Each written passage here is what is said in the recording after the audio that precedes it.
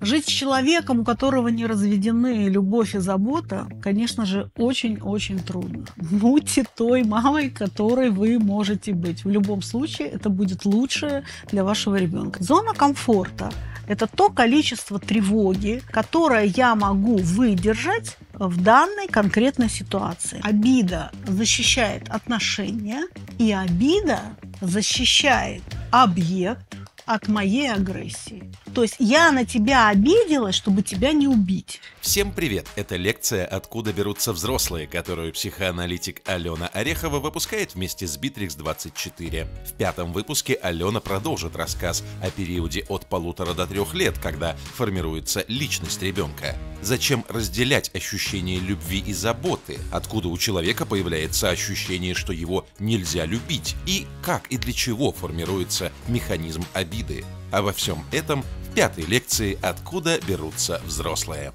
Мама ребенка до полутора лет в большей части посвящает свою жизнь ребенку.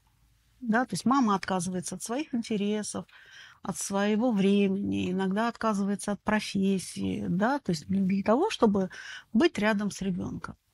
Просто здесь еще очень важный момент, о котором надо помнить, да, что не надо это делать из позиции жертвы. Это либо оно есть, ну, естественное желание мамы, и когда она делает это с удовольствием, а не так, да, потом я на тебя всю жизнь положила, лишила себя, да, то есть профессии, образования и вообще во всем виноват ты. Да? То есть любые решения принимает только взрослый человек. Ребенок не несет никакой ответственности ни за одно ваше взрослое решение. То есть если вы уже решили находиться в декретном отпуске, да, то есть с ребенком, то вы возьмите ответственность за это решение, да, и находитесь в этом отпуске, наслаждаясь этим. Если не получается наслаждаться, не надо никого слушать, потому что сейчас огромное количество насаждается информации о том, как надо.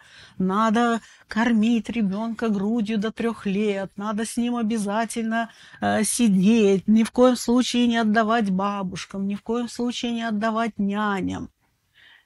Никого не слушайте, потому что вообще-то любая любовь к другому начинается к любви к себе. А любовь к себе – это четкое понимание в каждый момент времени, от чего я хочу.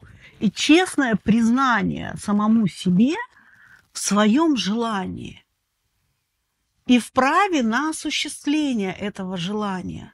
Любому ребенку гораздо важнее счастливая, реализованная, э, пусть работающая мама, но которая в радости, приходя с работы, уделит ему ровно столько времени, сколько ей самой это доставит удовольствие. Поэтому абсолютно не надо загружаться чувством вины или заставлять себя что-то делать, да, то есть там сидеть и играть эту роль идеальной мамы, которая все вот эти вот там фазы проходит, все правила использует. Будьте той мамой, которой вы можете быть. В любом случае это будет лучшее для вашего ребенка. Если вы выбрали путь, да, и этот, да, то есть нахождение с ребенком, то вы до полутора лет во многом себе отказываете, посвящаете свою жизнь э, ребенку, и ребенок чувствует, что это и есть любовь. Когда о нем бесконечно заботятся, когда мама, да, то есть решает все его вопросы, когда мама его кормит, когда мама его одевает, и он это воспринимает любовью. И вот в полтора года ребенок уже очень многое научается делать сам. Да, то есть он уже пытается сам одеваться, он может сам кушать уже ложкой. И вот на подфазе практики очень важно давать ребенку очень много э, самостоятельности, очень много что осваивать, да, то есть подбадривая его, что да, там у тебя получится, ну, не боясь, что, конечно, все будет размазано и испачкано, ну, так ребенок осваивает этот мир. И вот, э, когда в полтора года ребенок учится что-то делать сам, и вы ему предлагаете что-то сделать самому, у него создается ощущение, что он теряет любовь. И любые психологические законы э, работают так, что прежде чем что-то отнять, да, надо что-то предложить гораздо большее. Потому что если вы, отняв заботу, да, и приучая ребенка к самостоятельности и прося его что-то делать самого, не даете что-то взамен, а для ребенка забота воспринимается как единственное проявление любви, он будет держаться за эту заботу и не будет осваивать самостоятельно каких-то действий, потому что ему страшно остаться без любви. И тогда очень важно дать очень много совместного времени и совместной какой-то деятельности. И тогда ребенок совершенно спокойно будет что-то делать сам, когда вы ему говорите, слушай, да, то есть давай ты сейчас уберешь свои игрушки, после того, как, да, то есть мы с тобой там чем-то позанимались, я сейчас пойду на кухню, у меня там есть свои дела, я помою посуду, а потом мы вместе сядем и будем смотреть мультик. И, конечно же, ребенок с радостью пойдет эти игрушки собирать, предвкушая, что его ждет самое важное. Да, общение и контакт. Да? Помните, мы говорили, что важно всегда оставаться в контакте, потому что это и воспринимается как сохранность отношений, да, а значит любовь. И тогда, когда вы все время показываете ребенку, что даже когда он что-то делает сам, вы из его жизни не исчезаете, и количество любви не уменьшается, а у вас наоборот появляется гораздо больше времени за счет того, что мама успевает сделать свои какие-то дела совместного времени, ребенок останется с этим чувством, что любовь осталась. Потому что если этого не сделать полтора года, ну вот с полутора до трех, да, не развести любовь и заботу, то эта потребность в любви через заботу остается на всю оставшуюся жизнь. И тогда это э, является единственным способом, через который человек может ощутить, что его любят.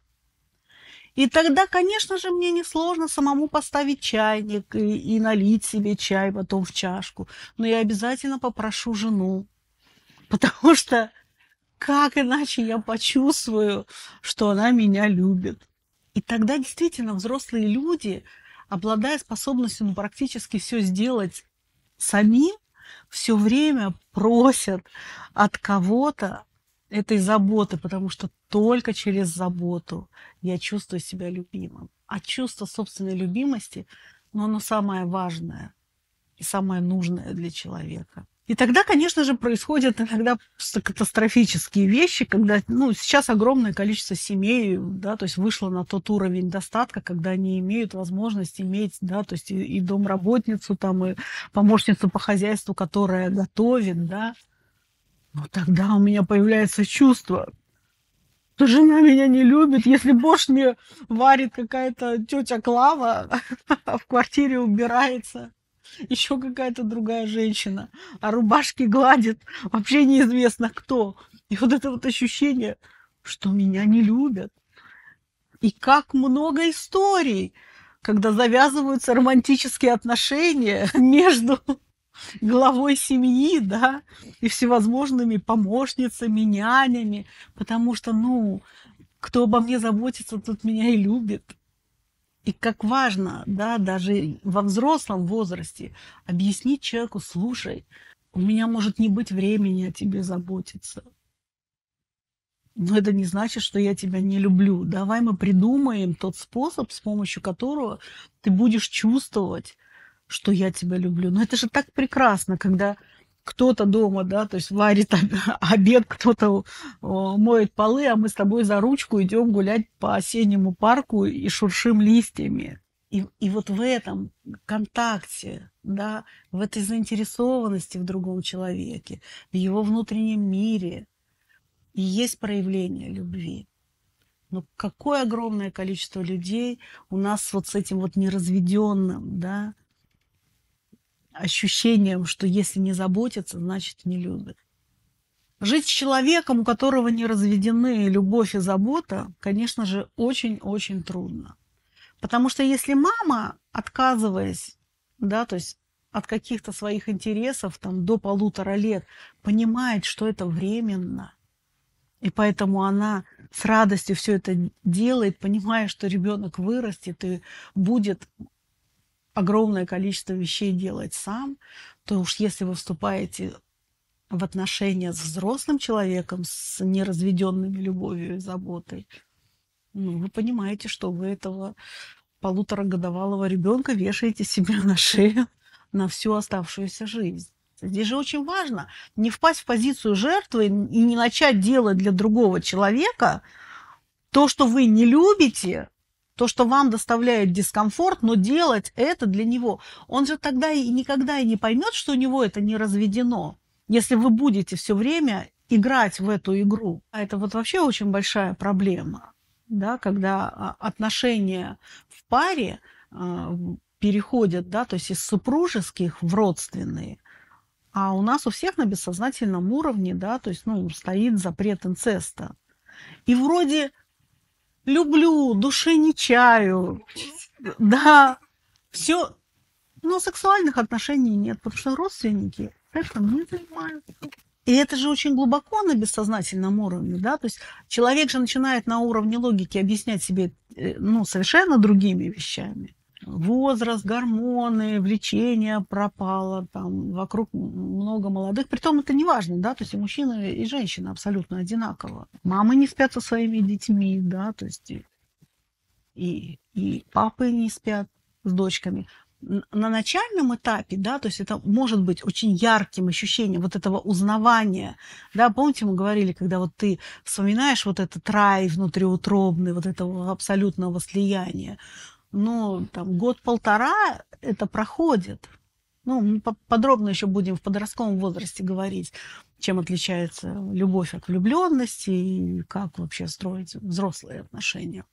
Понятно, что если вы любите человека, у вас есть естественная потребность о нем заботиться. Но когда вы это делаете не из обязаловки, да, а потому что вам просто хочется это делать, и вам самому это доставляет удовольствие – если это идет не в ущерб, да, то есть с вашими интересами, с вашим временем, да, то есть, ну, с вашими какими-то пристрастиями в том, как вам хочется проводить свободное время.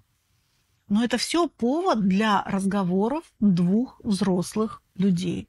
И почему говорили о том, как важно принимать психическую реальность другого человека? Потому что у нас у всех она абсолютно разная. И вы никогда не будете знать, что в голове у другого человека. И я уже много лет на лекциях рассказываю пример из книжки. Моя знакомая живет в Израиле, она приехала как-то в отпуск и подарила мне книгу э, израильских семейных психотерапевтов. А в Израиле есть такая практика, что там, когда пара подает на развод, их обязуют пройти 10 сеансов психотерапии, которые оплачивает государство. И процент разводов очень-очень маленький, потому что люди приходят на психотерапию и разбираются, ну вот с источником конфликта. И психотерапевты помогают, ну, просто людям, да, то есть увидеть психическую реальность другого человека, потому что мы все живем в глубочайшей иллюзии и в фантазии о том, да, что мы знаем, что думает другой человек, что он чувствует, да, какие у него желания – и вот пришла совсем молодая пара. Они недавно поженились, но пришли уже в состояние абсолютной ненависти друг к другу и неспособности вообще услышать другого человека. И когда начали раскручивать в психотерапии всю эту ситуацию, вышли на первичную. Понятно, что потом, как снежный ком, там все это накапливается.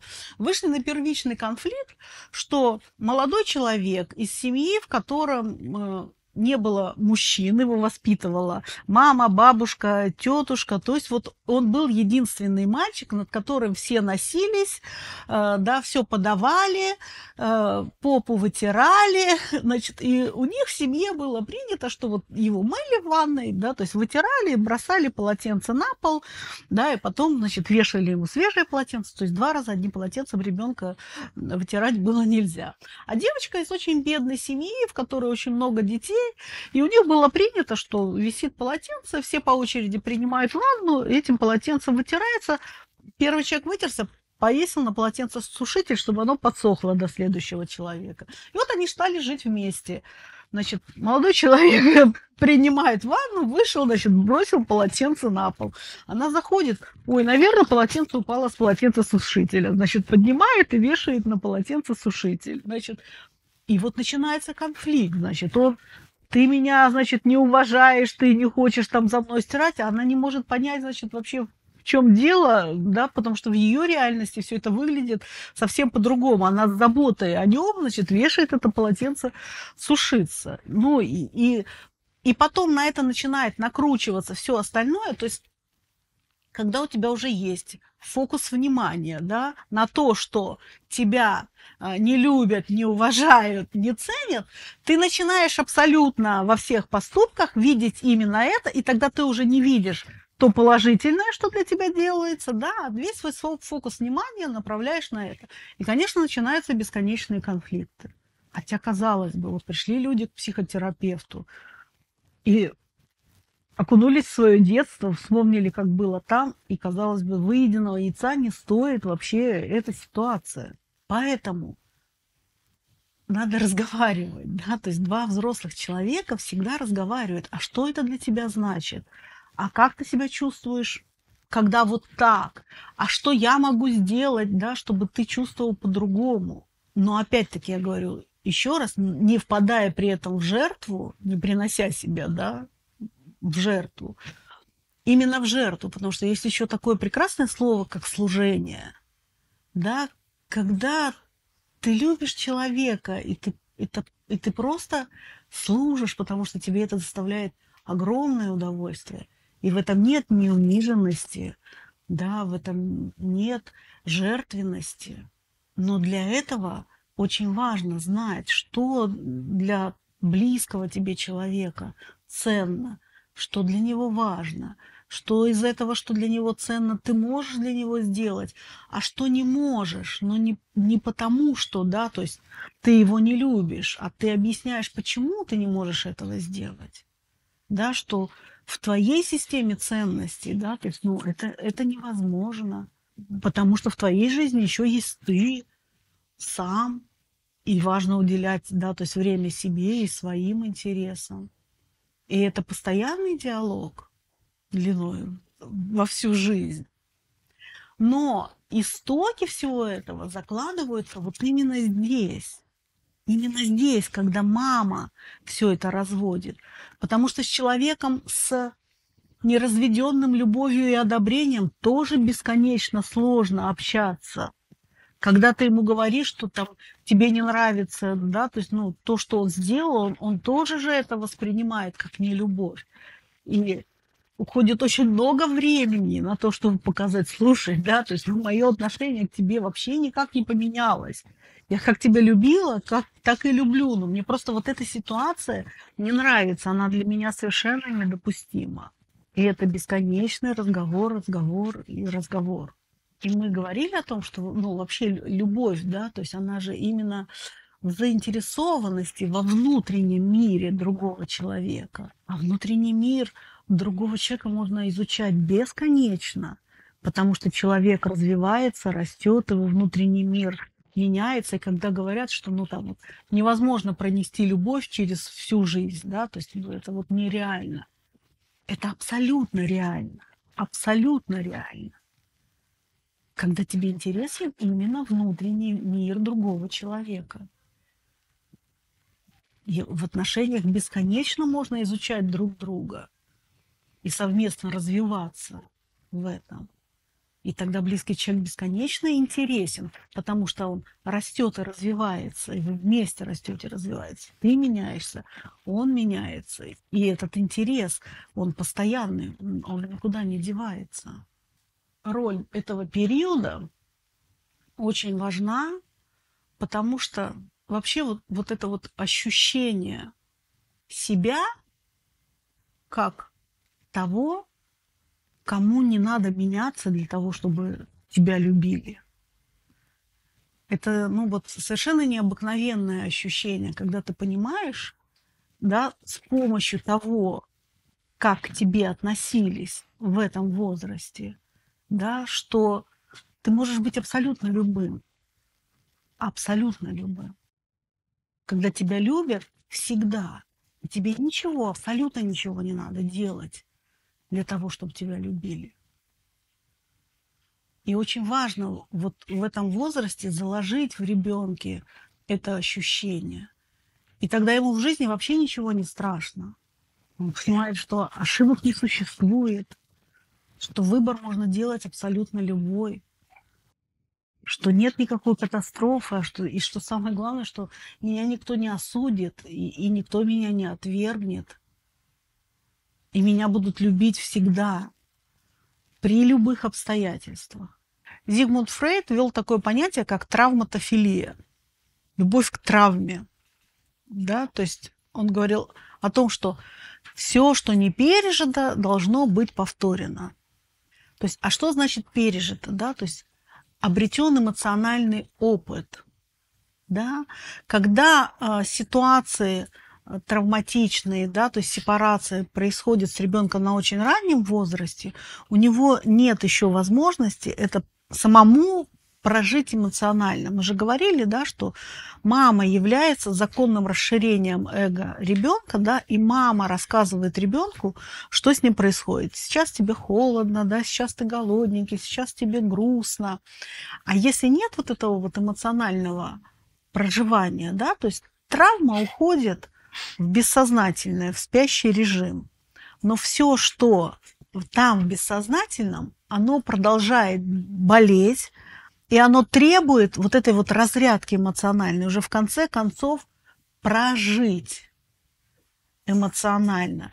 И тогда я в свою жизнь начинаю притягивать ситуации, в которых я проживу то же самое, да, то есть, ну, игнорирование, да, то есть вот какую-то там брошенность, эту вот нелюбимость, для того, чтобы рано или поздно прожить.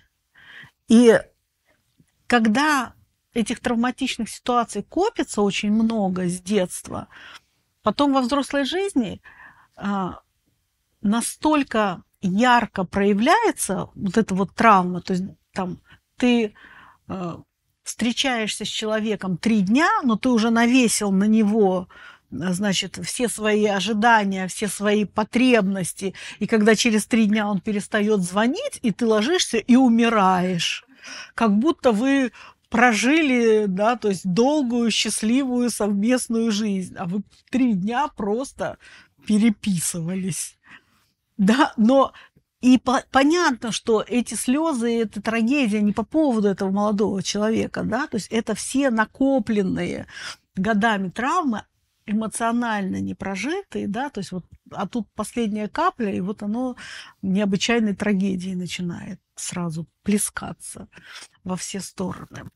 Важно, чтобы во все моменты да, то есть э, разлуки с ребенком. Почему вот мы говорим об этом в, в этом возрасте, да, полтора-три года? Ну, потому что в этом возрасте ребенка очень часто начинают отдавать, да, то есть там, ну, в ясли, в сад, а, няням, бабушкам отдавать. И ребенок не может объяснить, почему это происходит. И детская психика, она же все на свой счет принимает, да, и считает, что во всем виноват я.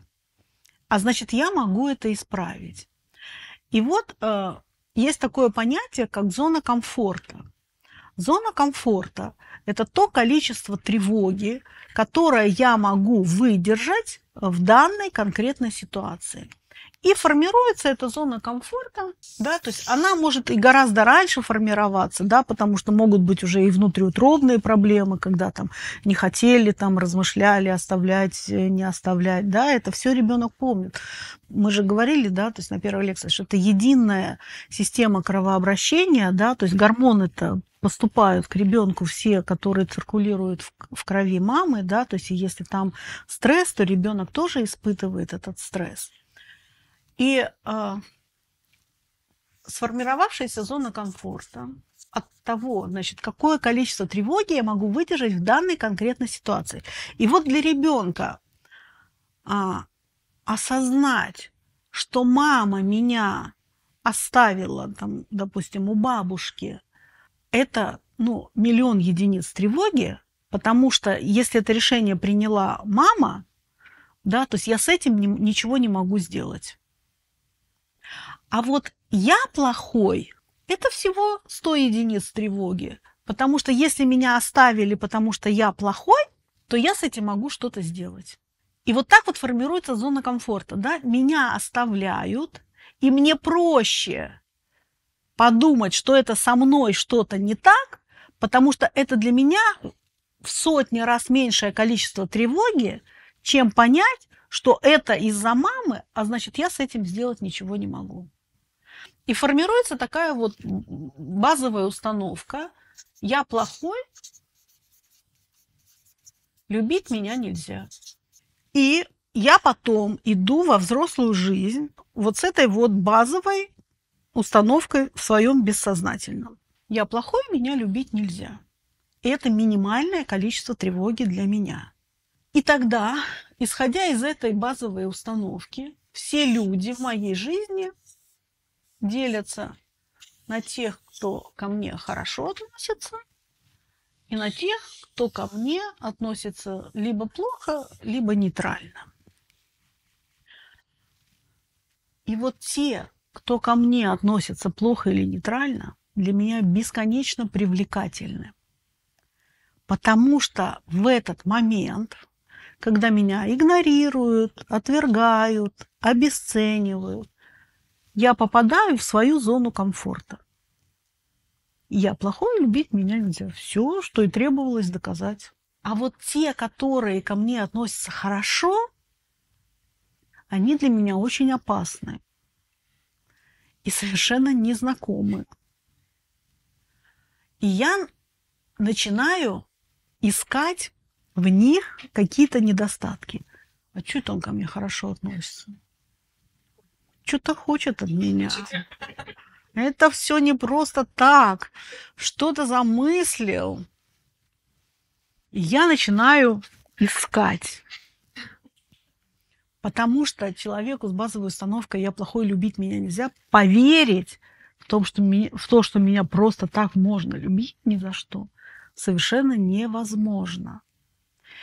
И тогда, когда ко мне хорошо относятся, даже если я не ищу какого-то подвоха, я все равно найду э, причину, почему я не могу ответить э, чувствами этому человеку. Да, и они могут быть просто совершенно э, очень смешными, да, то есть там ботинки у него не чищенные, стрижка у него не такая, нос у него кривой, ну, все что угодно, к чему я могу привязать, да, вот эту свою внутреннюю появляющуюся тревогу от того, что кто-то на меня обратил внимание и ко мне относится хорошо.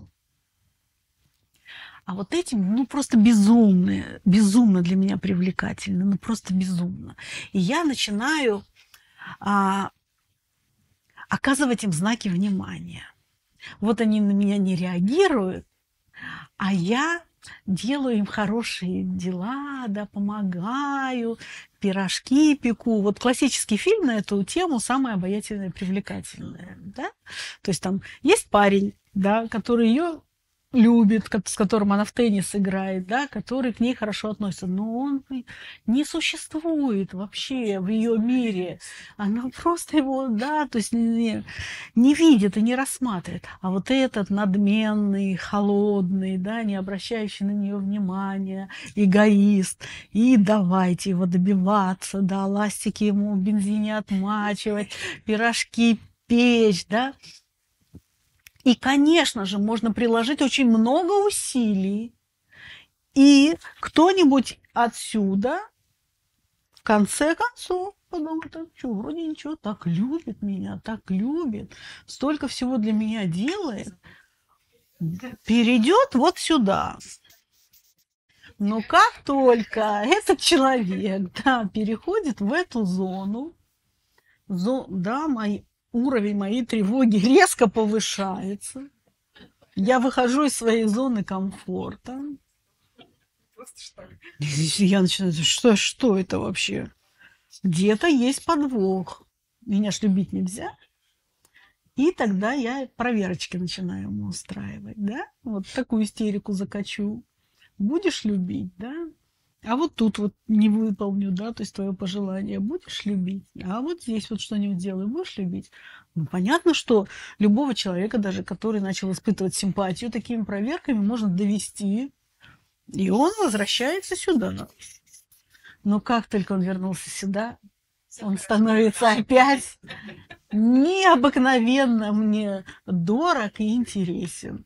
И опять начинаю его добиваться. Есть большое количество пар, которые вот по этому кругу ходят бесконечно. И а, очень трудно что-то сделать, ну, вот с этой вот сформировавшейся зоной комфорта и с этой вот базовой установкой. Поэтому очень важно детям, когда вы их оставляете, отвозите к бабушкам, да, отдаете в детский садик, говорить о том, что это происходит не потому, что я тебя не люблю, это происходит не потому, что с тобой что-то не так, это происходит потому, что мне надо решить там какие-то свои вопросы, чтобы вот эта вот установка не формировалась. Потому что ну, часто взрослые люди считают, что ну зачем полуторагодовалому ребенку объяснять, да, ну он же ничего не понимает. А дети прекрасно все понимают. И даже если сейчас, да, вашим детям гораздо больше лет, да, то есть вы сейчас тоже можете это делать, говоря о том, что когда ты был совсем маленький, да, то есть, а я была студенткой, мне надо было сдавать сессию, и мне э, пришлось отвести тебя к бабушке. И ты тогда мог решить, что я тебя не люблю, что с тобой что-то не так, и что тебя оставили навсегда. Но это было не так, я тебя очень любила, да, то есть это просто так сложились обстоятельства, что была необходимость. То есть вы разрываете, да, вот эту вот установку и выводите ребенка из этой зоны комфорта. Если вы извиняетесь, да, то ребенок всегда будет требовать компенсации. А раз виновата, значит, ну тогда сейчас отвечай. А если вы говорите, что мне больно, то я сделать с этим ничего не могу все, это уже в прошлом. Да, было так. Вы признаете эту реальность. Она была такой. Я это делала, да, то есть не потому, что тебя не любила, а потому что не справлялась. Мне было плохо, мне было больно, я не справлялась. И мне было проще, да, то есть эту боль кому-то причинить, нежели самой ее испытывать. Книжку я вам рекомендовала, да, рекомендовала «Маленький тиран», да? Ирина Прекоп или как дети манипулируют родителями. Вот э, Ирина Прекоп, она автор так называемой терапии удержания. Она работает с родителями, с детьми с очень серьезными нарушениями, в которых внутри очень много агрессии. И вот, да, то есть, понятно, 13 лет него очень трудно удерживать. То есть у него внутри на эту ситуацию столько боли и столько агрессии, ему надо дать позволить выразить эту агрессию. И ваша задача просто ему показывать, я люблю тебя просто так, ты можешь на меня злиться, а и я люблю тебя, когда ты злишься на меня, и принимать эту злость, и даже помочь ему как-то, ну, физически эту злость э, выразить. То есть вот Ирина Прекоп, она проводит тренинги для родителей, а, помогая родителям, да, то есть вступать в такой контакт с ребенком, в котором ребенок начинает выражать агрессию, а задача родителей эту агрессию принимать, а терапевты поддерживают родителей, да, чтобы родители не, не развалились и могли принять всю эту агрессию. Так вот, сформировано объектное постоянство. Оно может быть разным, да, оно может быть очень слабым. Да? То есть э, объектное постоянство характеризуется тем, э, какое количество агрессии я способен выдержать до того, как я впаду в расщепленное состояние. Да, то есть оно может быть там побольше. Там, оно может быть там, еще больше. Если норма да, то есть абсолютного, да, то есть совпадения, ну, все равно ну, не существует. Все равно будет то количество да, то есть, ну вот тревоги, агрессии, притом э, тревога и агрессия могут быть как внешними, так и внутренними, да, то есть вот сейчас те процессы, которые происходят, да, то есть в нашем обществе, они вгоняют людей в такое количество тревоги, что рушится вот это вот объектное постоянство, почему мы видим такое количество агрессии. Это огромное количество расщепившихся людей. А человек, если расщепился, да, мы же говорили, мне плохо, и весь мир плохой. И я тогда начинаю какашками в этот мир бросаться и вот эти вот все, да, то есть там посты, выступления, демонстрации, да, то есть это просто, ну, реакция разва- развалившихся людей. И есть одно явление, с помощью которого мы можем увидеть, насколько стойкое объектное постоянство, да, то есть у ребенка или взрослого человека. То есть в состоянии, когда объектного постоянства нет вообще, да, то есть я живу э, вообще просто вот с ощущением, ну, если мне хорошо, мир хороший, если мне плохо, мир плохой. Я вообще не разбираюсь с этим, да.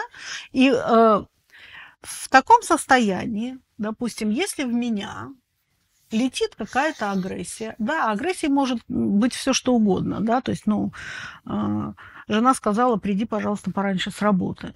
Вот в меня летит агрессия, и я разваливаюсь на две части. Я в этот момент ситуацию не анализирую. То есть мне в лоб, и я в ответ сразу же в лоб. Мне в глаз, я в глаз. Да?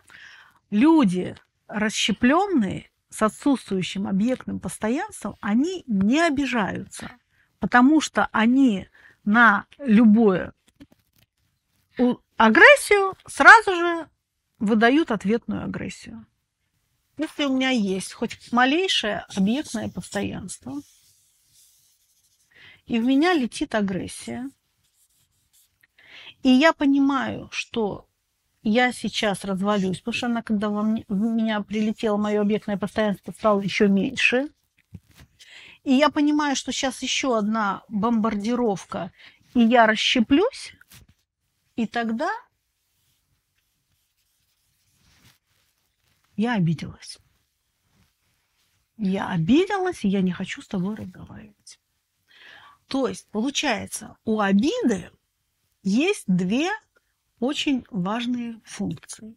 По сути дела, обида служит защитой отношений. Потому что если я не обижусь, а ты еще что-то мне скажешь, я расщеплюсь, и тогда тебе мало не покажется, да? То есть я тогда выдам тебе ответную агрессию. И тогда получается, что обида защищает отношения, и обида защищает объект от моей агрессии. То есть я на тебя обиделась, чтобы тебя не убить. Чем выше уровень объектного постоянства, да, ну то есть тем большее количество агрессии я могу выдержать, пока не расщеплюсь, да, но рано или поздно я все равно обижусь, чтобы защитить тебя и защитить наши отношения. И это как, э, ну, два шарика, знаете, такие эти вот намагниченные, да? Чем а, больше было объектное постоянство, тем меньше мне нужно времени для того, чтобы опять соединиться, прийти в себя и, да, то есть понимая, что убивать тебя я уже не собираюсь, да, вступить с тобой в диалог. Чем а, меньше уровень объектного постоянства, тем дольше длится обида.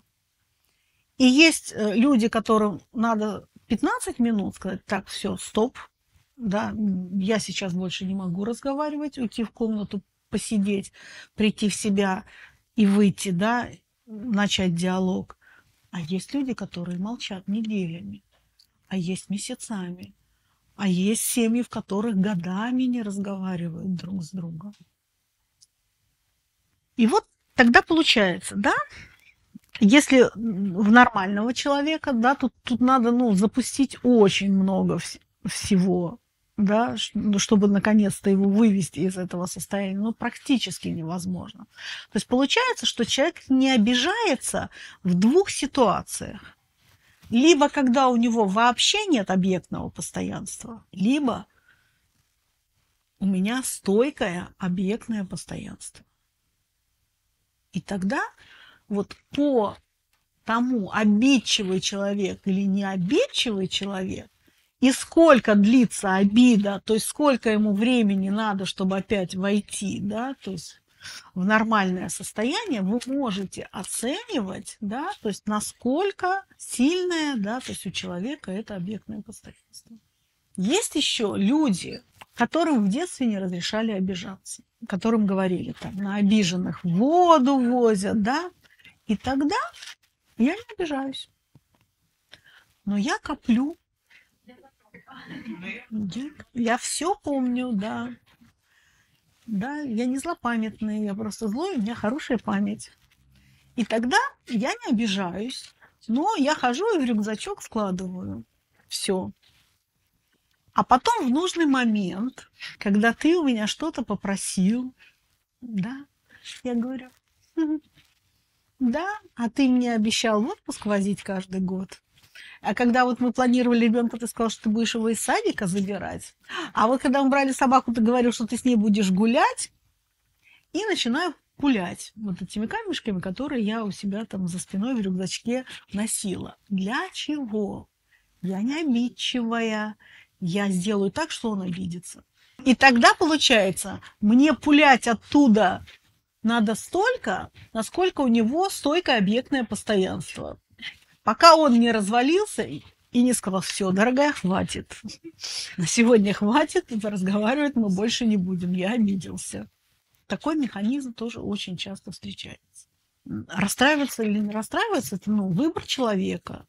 Никого невозможно расстроить. Опять-таки тоже не берите вину на себя, да, то есть у любого человека есть право реагировать так, да, то есть как это, обидеть невозможно, можно только обидеться, да, то есть расстроить невозможно, можно только расстроиться. Человек так отреагировал, у него есть право. Вы не виноваты, вы не говорите «извини». Я хочу, чтобы у нас были с тобой хорошие отношения. Мне ценно очень наш контакт, наше взаимодействие. Ну, мне больно от того, что я вижу, как ты сейчас расстроен. Чем я могу тебе помочь? То есть вы вызываете все время человека, да, то есть не давая оценку ни своим действиям, ни его действиям, говоря только о желаемом результате и о ценности этого человека в вашей жизни и вашего контакта. Опять всегда помните, проговоренная потребность является удовлетворенной. Только в младенчестве вы непосредственно удовлетворяете потребность. Любая другая потребность проговаривается. Я вижу, что тебе очень бы хотелось, чтобы я сделала то-то и то-то. И если это для тебя важно, я сделаю это для тебя. А если для вас это неприемлемо, вы говорите, ну я делаю это, не делаю это не потому, что я тебя не люблю, а потому что для меня это неприемлемо. Ну, то есть это, это постоянный диалог. Нелегкий. Ну, выстроить э, отношения с человеком с отсутствующим объектным постоянством очень тяжело. Очень тяжело. И тогда вы должны понять, в чем ценность для вас ну, этих отношений. Я всегда вам в помощь. Приходите, будем диалоги выстраивать. Это была лекция «Откуда берутся взрослые» психоаналитика Алены Ореховой, которую она выпускает вместе с Bittrex 24. Подписывайтесь на наш канал, задавайте ваши вопросы в комментариях и до встречи на следующей лекции.